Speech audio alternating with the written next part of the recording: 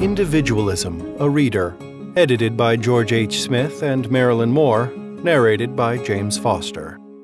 Preface This book is a collection of writings by defenders of individualism. Some major critics of individualism are discussed in the introduction. All selections, documents, are in the public domain.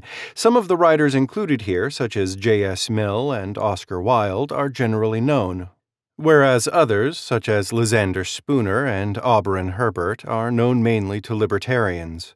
We have included some obscure authors, such as Henry Wilson, because we think their writings have considerable merit and deserve to be more widely read.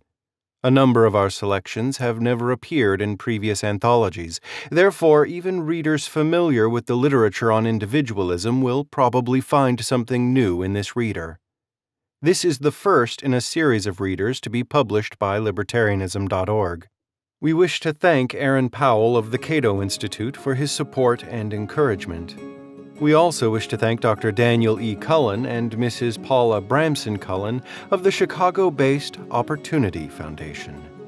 This has been Individualism, a Reader, edited by George H. Smith and Marilyn Moore, narrated by James Foster. Copyright 2015 by the Cato Institute.